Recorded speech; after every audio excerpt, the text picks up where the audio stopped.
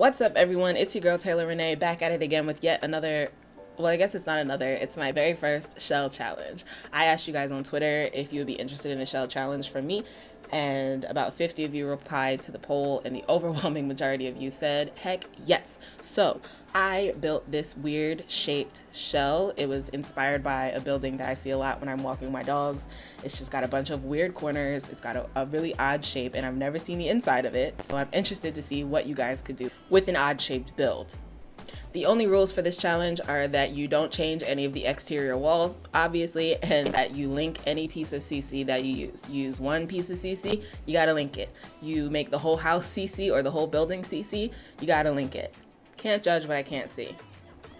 And you don't have to make it a house. It can be any type of building you want. You want it to be a pool, go for it. You want it to be a church, go for it. You want it to be a school, go for it. Anything anything in your imagination, you can do. You want to put a pool outside, go for that. You want to make it an alien base, I'm cool with that too.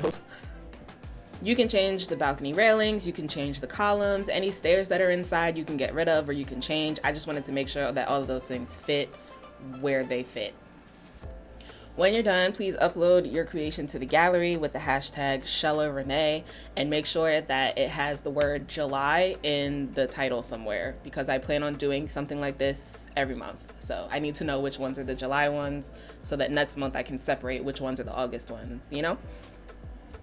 Last but not least, I'm going to tour all of your builds and pick a winner next Tuesday on my channel. So make sure you're subscribed so that you know when that video goes up. I'll also announce the winner on Twitter at some point, probably between Tuesday night and Wednesday. Also, in the event that more than a few of you end up using CC, then we'll pick two winners just so that the people who don't use CC get a fair shake. The winner or winners will receive a game pack from me. And that's pretty much it. I cannot wait to see these builds. Happy simming! Bye!